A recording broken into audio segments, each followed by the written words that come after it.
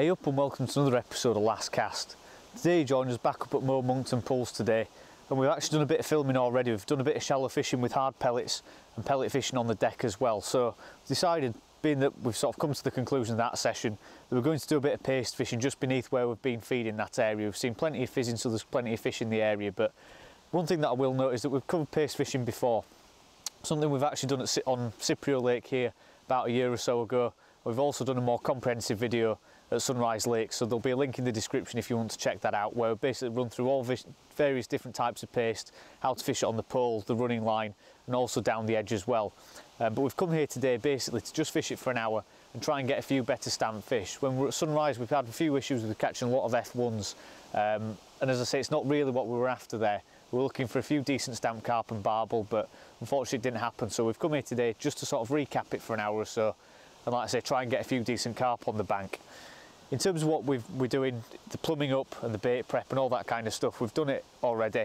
And there's a couple of videos on Bobble TV too, if you want to check those out, which will run through each of those aspects of paste fishing. But as I say, we're just going to quickly run through it today and hopefully get a good hour in and put a few fish on the bank. In terms of the rig that we're going to use today, as I say, it's plumbed up at 13 metres um, and it's basically a Frenzy FP 200 float. It's the same rig effectively that you'll see us use at Sunrise. Um, with a paste pot on the end there, as you can see mounted a decent length back, double 8 elastic in the top end, 019 mainline with three number 8 back shot, which when the wind's like this are essential to have in the rig. As I say, Frenzy FP900 paste float. Um, the, the idea behind these, as you can see, nice long bristle, but I choose these, I think they're a discontinued pattern now, for a couple of reasons. Firstly, they're aligned through body design, so incredibly strong, but also because the, uh, the actual stem of the float runs halfway up the bristle, so essentially preventing the, the float um, collapsing and the, the bristle folding over if you do foul hook fish. So something to look for when you do choose a paste float is either a fully inline pattern where the, the uh, line runs off the top of the bristle or something where the bristle's reinforced. So that's one thing to look at. Dead simple float as you can see, only 0.2 in shotting capacity because we're fishing in say about three foot of water, something like that. In terms of the main line, or what's on the main line I should say, just got two number 10 stots down the rig just to stabilise it. Um, quite often when it's really shallow you can get away with no shot on the line, but I like to have just a couple on there just to keep the rig nice and stable. As you can see those are set at half depth, then that just comes down to a 6 inch hook length of 017 power line to a size 12 Kamasan animal hook, a nice big wide gape hook uh, with a nice heavy wire gauge that's going to bind to the paste nicely. So it's a dead simple rig. As I say, we've covered this before, so if you check out the previous video for more detail on how we go about using the rig and the various reasons about it, there's no point us really recapping that today, um, other than just saying, as I say, about the back shot and how we've plumbed up. In terms of plumbing up the rig, dead simple. Um, one thing that I always make a note of when you're paste fishing is using two plummets, a 10 and a 30 gram plummet. Again, we'll cover this in the, video that you'll see on Bobble TV too, but the crux of it basically is a 30 gram plummet will give you a true reading of what the bottom's like in terms of what it's made up of, whether it's silty, whether it's rocky, and if it is silty, it'll tell you how deep the silt actually is. Then using a 10 gram plummet that's going to sit on top of the silt, it'll be able to tell you exactly how the float should sit when you're actually fishing during the, the session. So like I say, that's the crux of plumbing up, dead simple. So find out the depth of the silt and what you're actually fishing on using a 30 gram Looking for a nice flat area as well is another really important factor when you're paste fishing, especially in open water like today. And then using a 10 gram to sort of imitate the paste and get that to give you a reading of how the float should sit when you're fishing. As I say, that's all explained in another video that we'll link, um, link you to. And that's basically, in terms of the bait, dead simple. All I've got is some 6mm hard pellets, as I say, that we've been using today, and some green swim stim that I've just mixed up into a paste. Again, We've run through that in a previous video, so we'll put you a link to that. But basically the principle between mixing up, mixing up paste is adding the ground bait to the water rather than the other way around until you achieve a consistency that you're happy with. So I say, with everything looked at there, we'll crack on with the fishing. As I say, I've plumbed up the rig, I've fed the area, but I'm going to put another pot full of pellets in just to create a bit more activity on the bottom and get the fish focused down there. And hopefully we'll be able to put a few fish on the bank. And ideally this time around what we'll try and explain is basically how the float behaves in the peg and try and show you how proper bites from big carp um, should be on the paste. So as I say we'll turn around on the box get a bit of bait in the peg and then show you how we go about fishing the paste. Right so as I say I'm going to kick off the peg now with a decent pot full of 6mm pellets and also put in just a couple of little nuggets of the paste as well just as a sort of sample hook bait again depending where you're fishing or where I'm fishing, I'll feed different um, baits. Like say at sunrise, I look to put down a bed of feed and try and attract skimmers, big bream, and a variety of fish. Whereas today I'm only really able to use what's in front of me on the uh, on the side tray that we've got with us. But I'm just putting in a decent quantity of feed just to get the fish settled into the area that I want to fish. Again, any sort of hard pellets will do. But the most important thing is trying to feed something that is more selective to try and get the carp in the peg rather than sort of attracting lots of, especially if there's lots of small skimmers, small roach, things like that. You want to try and put in baits that are going to sort of weed those out and make sure that you're only really getting carp in the peg, especially on a venue like this. So I'm just going to line up with a far bank marker, again got a marker on my pole and just deposit that bait down there like so. In some cases, as I say, I'll spread it around a bit, um, try to create a big bed of feed, but today, because we've already been feeding and fishing that area, there should already be a few fish there, so I'm just trying to make sure that they're concentrated on the bottom in that area of the peg.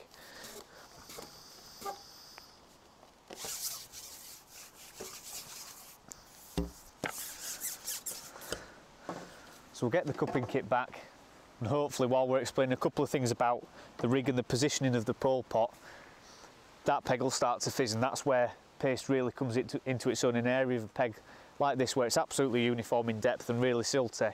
Paste really sorts out a lot of the fish in terms of when you're sort of fishing hard pellets there, you can foul hook a few fish or run the risk of it, especially when you get too many fish in your peg, whereas paste is the opposite you'll end up getting a lot more bites when you're getting much more activity in your peg because you're using a really positive rig, a big bait, it does sort out the bites and basically means that you're not faffing around missing bites so much. So what I'm going to do is just pick up the rig, quickly get a bit of paste on the hook. What you'll see if you see that link into how we how we go about plumbing up is I plumb up to dead depth as to how the float should sit with the paste on, so i.e. with the hook point or the bend of the hook touching the bottom. So what I like to do when I'm actually forming the paste round the hook is I like to get a decent ball, sort of a bit smaller than a golf ball, say a conker size, something like that, and flatten it out. What I'll actually do is almost lay the, the line through the, the, uh, the paste, a bit of an exaggeration there, and fold the paste round the line. Then as you can see the hook point should sit proud at the bottom. Then all I'll do is flatten the bottom of the paste out so it acts almost like a plummet and then just form the paste round like so and you'll see a little shiny mark there of the hook being right in the bottom of the paste and that makes sure that you're fishing as you plumbed up i.e. it's pretty much imitating the plummet and vice versa. So it's just a case of popping that in the pole pot and then shipping out to your required mark. One thing that I should have done, um, which I haven't just yet, is put a bowl of water next to me. Again, the last thing you want is ground bait all over your pole, so if you can do, have a bowl of water next to you just so you can wash your hands when you're shipping out because the last thing you want is that paste jumping out of the pot as you're work, working your way out to say 13 metres like we are today. One thing that you'll notice as well is just how that rig hangs as well. Especially when I'm fishing somewhere like this that's a bit more shallow, I like to have the float pretty much at the bottom of the rig with using the back shot and the two number 10 shot to stabilise the rig as it's shipping out, stop it twisting round. Again, a bit of trial and error to work out how that works in relation to how far the pole pot sits down the top kit. But again, it's basically about creating a level of separation and stability so when you're shipping out, the pole float doesn't twist and tangle. So when you get to your mark and you tip the pole pot, the, uh, the pole pot over and the paste out, the last thing you want is that float to sit at a funny angle because it's wrapped round. Because ultimately that just wastes time in shipping back and not getting the rig presented correctly. It's again being really nice and careful to ship out. And again on somewhere like this where we're having to double unship that the most important thing is getting your roller position right. So just taking my time to ship out to the mark. And what I use is the markers on my pole to tell me how far past I need to basically be to put the, the uh, to turn the pole pot over so I'm fishing directly underneath my pole tip. So I'm fishing at a marker on the pole and then I just need to ship past to another mark just to tip that pole, the, uh, the paste, sorry, into the peg. Right, it's just going to deposit the paste into the peg like so and wait for the float to register. You'll see it'll follow the paste down and sit up properly. That's a bite, really sharp indication The fish on straight away. See, that was almost immediate as that paste hit bottom, and those really sharp bites are what you're looking for to hit. Again, didn't get enough time really to explain what was going on there, but you'll be able to see on camera how sharp that bite was. That's basically where the fish has just sucked in the bait and the hook and given a really sharp bite. If the float sort of drags under, that's when the fish has, has pretty much swum into the line and sort of picked it up on its pectoral or whatever it might be. And the last thing you want to be doing is striking at those bites because with a big hook, that's when you'll often foul hook fish. And especially with decent sized carp, there's plenty of tail and fin and rest of the body to hook as well. So what you want to be looking for is those really sharp sort of 100 mile an hour bites, if you like to describe them as that, where the float just absolutely shoots under. And that's when the fish is on just a, a decent lift and you should set the hook every single time.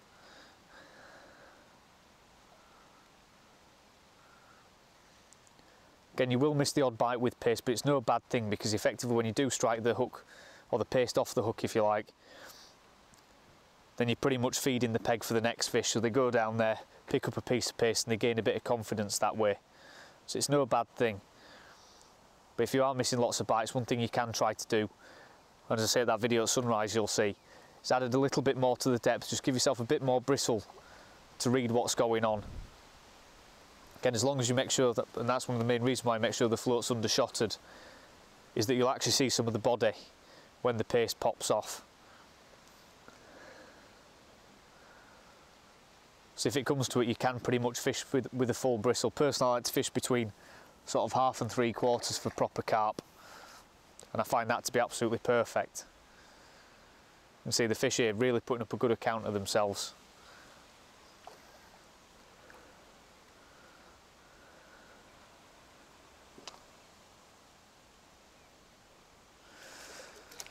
Again, not massive fish in this lake, as opposed to Cyprio, which you've seen us do a paste video on before. But a decent stamper fish. And these are what we were really after when we fished at sunrise. See, hooked right in the corner of the mouth. Perfect hook hold and he's never coming off.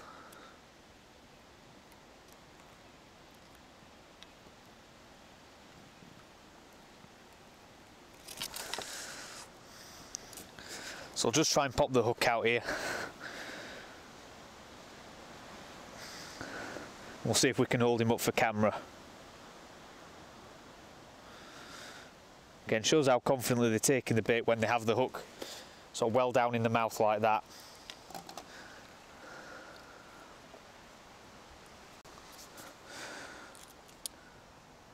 So again, not a massive fish, but we're already off the mark within sort of five minutes of that paste going in. Lovely little mirror carp, probably a couple of pounds, maybe a bit less as I say, cracking little fish to start with.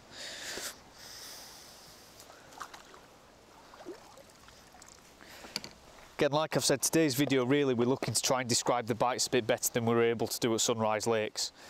So hopefully there it's giving you a bit of an idea of how the float should behave. Again, wasn't in for very long before it buried. But that really sharp bite is what you're looking for basically.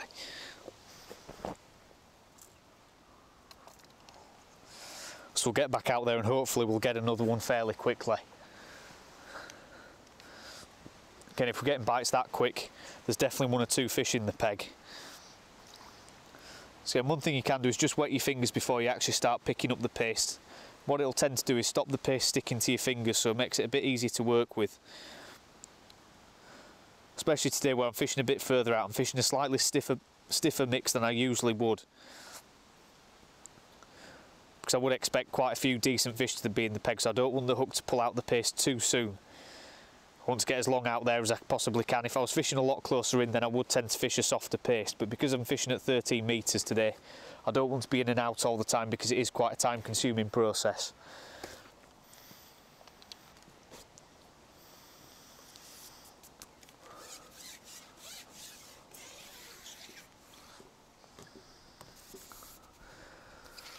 And one thing I will note as well today is I'm not going to look to put any loose, more loose feed in if I can avoid it. Although we are fishing fairly late on in the day, so the fish will feed not naturally more aggressively, I wouldn't try to tend to put too much bait in once I've started catching on the paste, I do like to effectively fish it almost as a self-feeding method.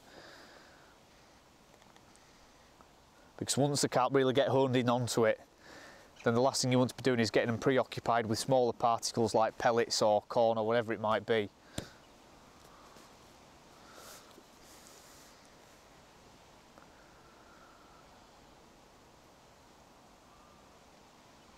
So again you can see that float's now registering the paste.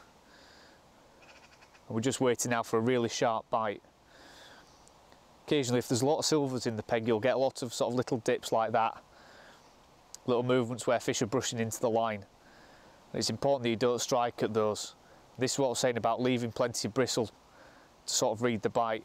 As you can see there, there's the odd carp in the peg as well. And that really sharp pull under is what you're looking for.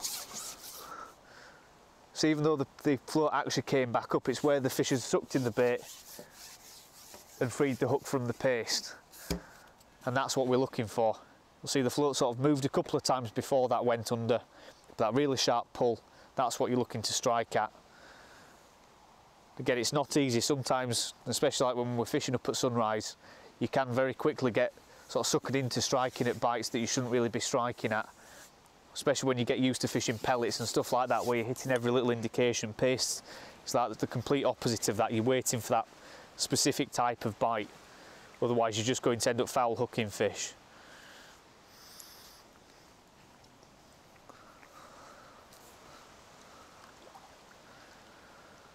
Let's get another decent stamp carp. It just shows how little time it requires for the paste to be in the peg before you get a bite. As I say, we're fishing in sort of towards the evening now, so it's obviously the best time to fish it. But it's a fantastic method once you start catching on paste. Very often you can catch on it for several hours. Say because there's a lot of competition for that one small amount of feed. And as it does break down, there's plenty of attractant in it, especially when you're using something like green swim stim.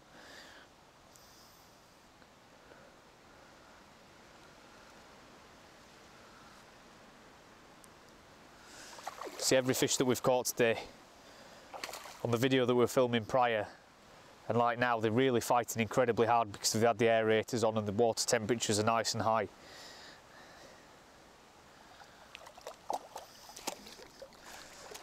And there we go, that's another one in the bag. Again, similar stamp to the last one. And nailed right in the top lip. Again, lovely fish. See, don't want to hold him up too much because they are very lively, but again, another couple of pounds in the net. So we'll get him slipped back.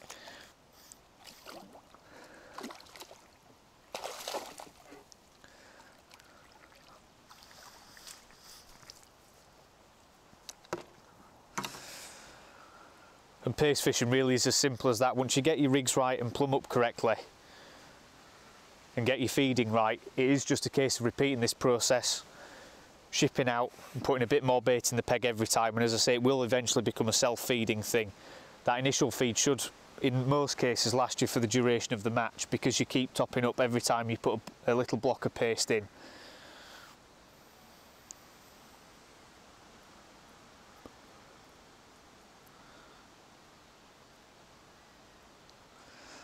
So again, just moulding it round the, the line, pulling the hook into the bottom of the paste, then just flattening it out.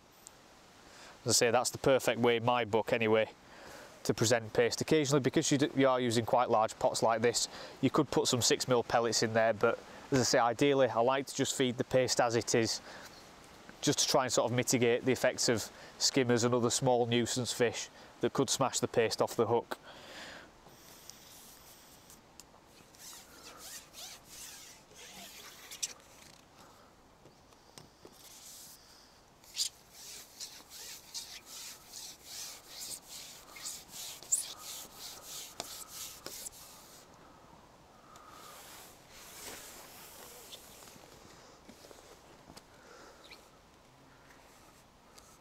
So again, just getting to the marker,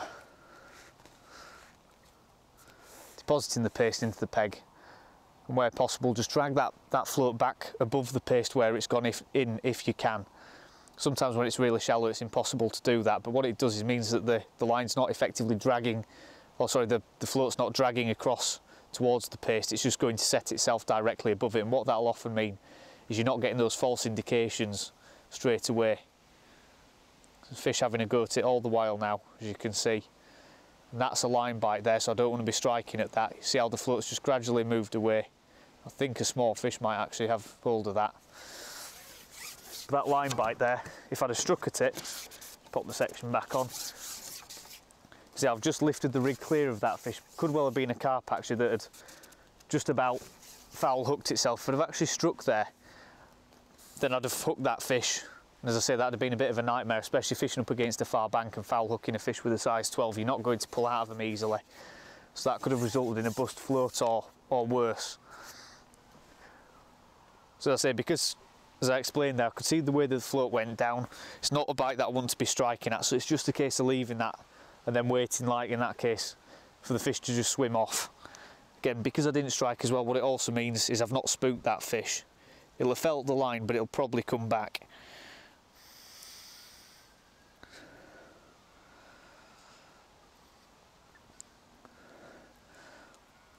So, as I say, hopefully in these past few minutes with the first couple of fish and that, hopefully it's given us a good chance to uh, explain to you what kind of bites you're looking for on the paste. Because with paste fishing I've found in the past, and it's one of the hardest things to learn is, is what to strike at.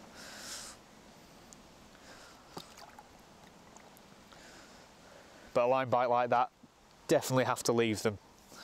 Even though the float might go under and stay under for a, a period of time like that and reappear down the peg, you've got to try and understand that that's a fish that's pushed into the line picked up the, the line or the hook length on its say, pectoral fin and has kept on swimming and that's why the, the line's just following that fish. If you strike then it's going to set that hook into the fish whereas if you just leave it to swim away like that the hook will simply just fall away from the fish. Because all that's happened there is he's swum through the line, picked up the hook and pulled the hook out the paste and has started to move off with it. So again, hopefully that makes sense as to what's going on and how to read the bites. And again, that's why you want to leave plenty of bristle showing.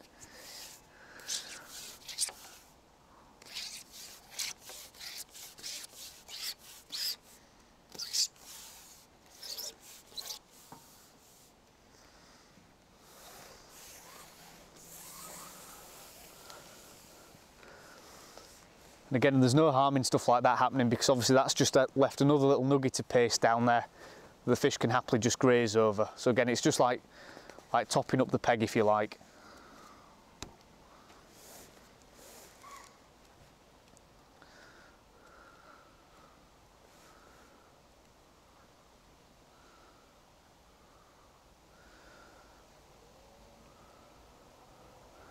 So that paste might have just rolled a little bit. Again, you can see that float's moving sideways now. That's where again a fish has just picked up the, the line on his fin.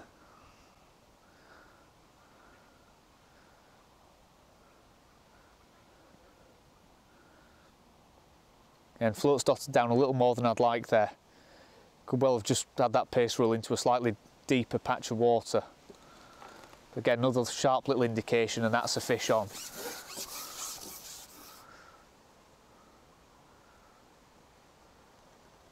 Again, at face value, the bites do seem to be a bit funny because you'll see the float sort of go under and reappear, but as soon as you get a sharp indication like that, that's what you've got to strike at. It doesn't feel like a particularly big fish, this.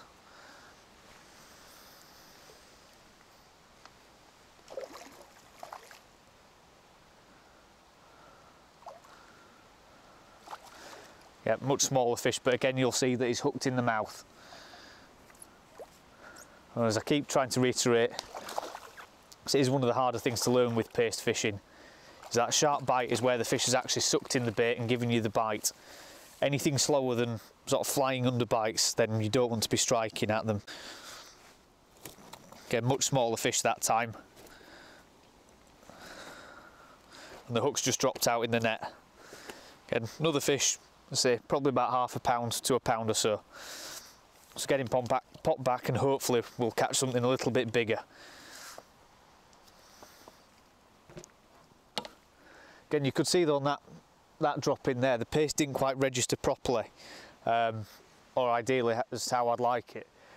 the float was dotted down just a little bit too much, but again, that's why you go for these thick bristle paste floats. There's still enough buoyancy there to distinguish between line bites and proper bites.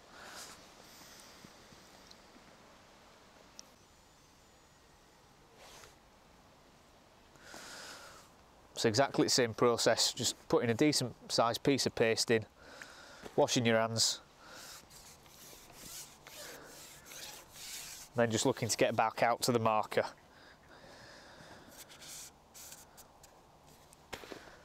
Again, one of the only ways that you're ever going to get good at paste fishing is just through practice. As I say, it took me quite a while to suss out what I needed to do with the rigs. And in terms of actually bait presentation to make sure I was happy with what I was striking at. So it can be one of the most frustrating methods when you're not used to it and it is quite new to you. And it's not something I tend to fish a lot, to be honest. But just with a bit of practice and trying to suss out what the rig's doing and trying to understand what's going on under the water, you can end up turning those sort of funny bites into fish and sussing out what you need to be striking at and what you don't need to be striking at.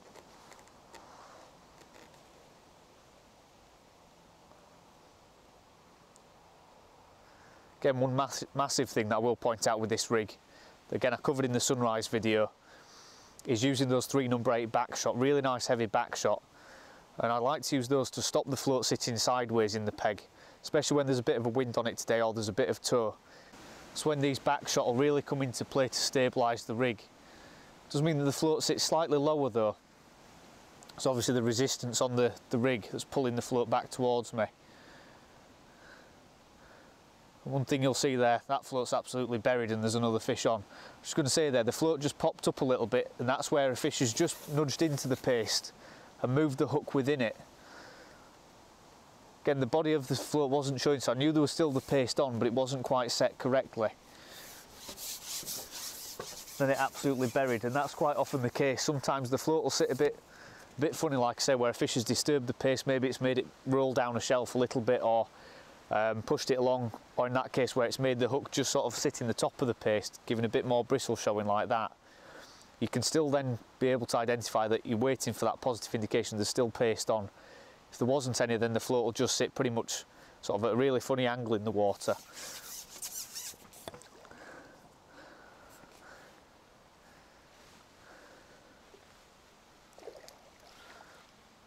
Again, that's another nice fish.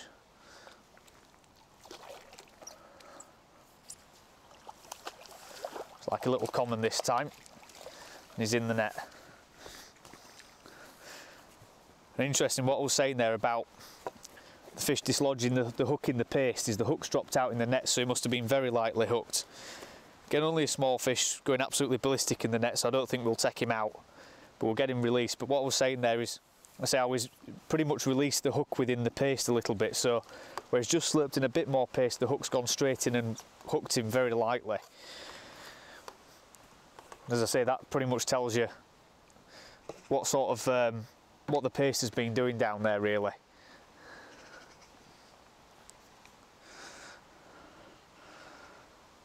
say quite often it'd be very easy to look at the way the float was sitting there before it buried and say that the paste was off but like I keep saying when the, the float sat and the body's not showing then you know there's at least still some bait on and the hook is somewhere within that block of paste so it's still good for a bite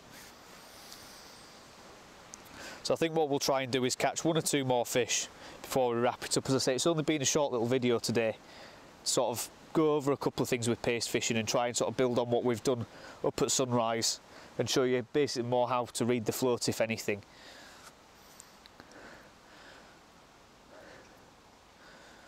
But in the process sort of re recovered a couple of little things that we mentioned in those previous videos where it's a bit more comprehensive.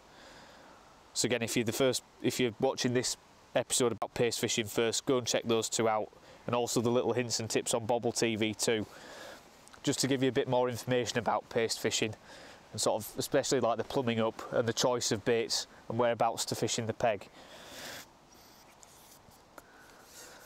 But like I say, we'll try and get one or two more fish on this before we wrap up the, uh, the session and the video.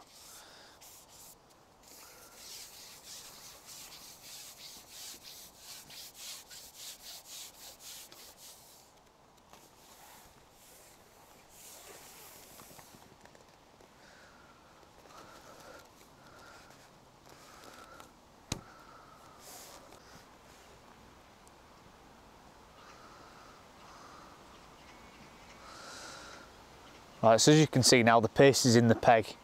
And one thing you can do, especially if you mix your paste fairly stodgy, is you can actually tease that float up and try to give yourself a little bit more bristle when it's actually in the peg. See, it could be a useful thing to do now. So sort of making tweaks to the rig as it's actually fishing, rather than having to ship back and move the float up. It's quite often what will happen, another indication there, you can see the fish are right up in the water is the fish will actually burrow into the silt, especially on very soft bottoms that you're fishing on, and effectively make the peg deeper as, as the session goes on. And I think that's what's happening here. So what I'm going to do is just add another couple of mil to the, the depth and allow myself a bit more bristle. Because especially in the area of the peg where I've been fishing all day, the fish will have churned up the bottom there. And like I say, I think that's probably made the bottom really soft there and it's effectively allowing the peg to get deeper as the session goes on. So that's one thing that you do have to be aware of when you are paste fishing.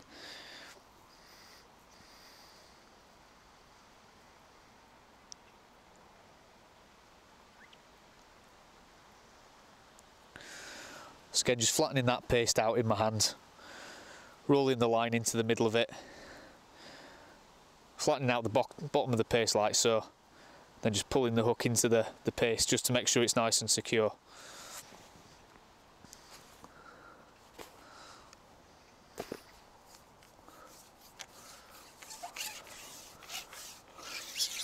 I think being that time's wearing on a little bit today, we'll probably just try and catch one more fish rather than the two that I said earlier.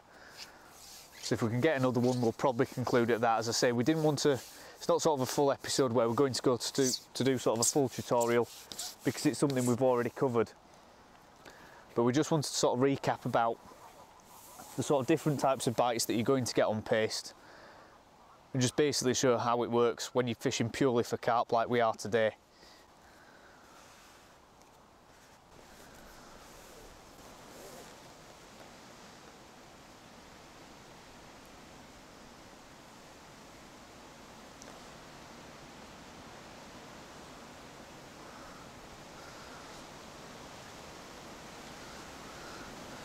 Uh, right, so as you can see now, the float's still dipping and weaving all the time. And as I keep saying, it's just a case of now waiting for that really quick bite that tells me that there's a fish on. There's plenty of plucks and indications that there's fish around the paste. Just waiting for that float to absolutely bury.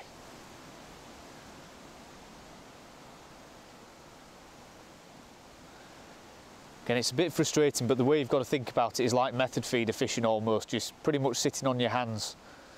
And that one's just picked it up. It's pretty much hooked itself there. Again, as you can see, they're going absolutely ballistic, these fish.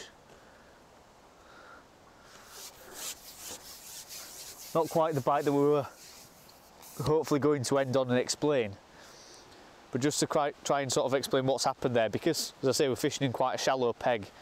We've had a couple of issues with fish coming up off the bottom and slamming into the float and line. I think what's happened there the fish has picked up the bait and gone off with it at quite a, a speed. So rather than the float sort of slowly moving away like in a proper line bite what's happened there the float's popped up and started to move away really quick. So again sometimes when it's like that it's a bit 50-50 whether a fish is swimming to the line at quite a high speed but doesn't tend to happen or in the case like this, the fish has actually picked up that bit of paste and swum off with it. Again, rather than actually sitting directly over the feed and sucking in the paste that way. But like I've said, we'll call this one the last fish of the session, I think. Because for me, for me anyway, I think we've covered everything we needed to in the previous videos about paste fishing and today's just been a case of recapping over the bits that we might have missed in terms of like say hitting bites and explaining basically what's going on with the float in the peg. See this float, this fish is going absolutely mad. Again, not a big fish, but these are the stamp that you're after when you're fishing paste on a venue such as this. Again, on some of the other lakes on the complex like Cyprio, you'd be looking for sort of 8 to 10 pounders on the paste whereas here the average stamp's three or four pound.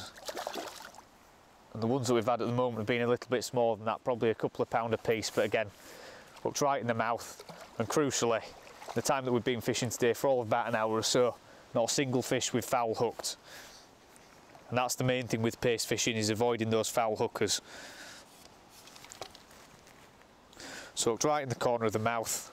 Again, not a massive fish but a decent stamp to be catching on the paste so we'll get him popped back and conclude the session at that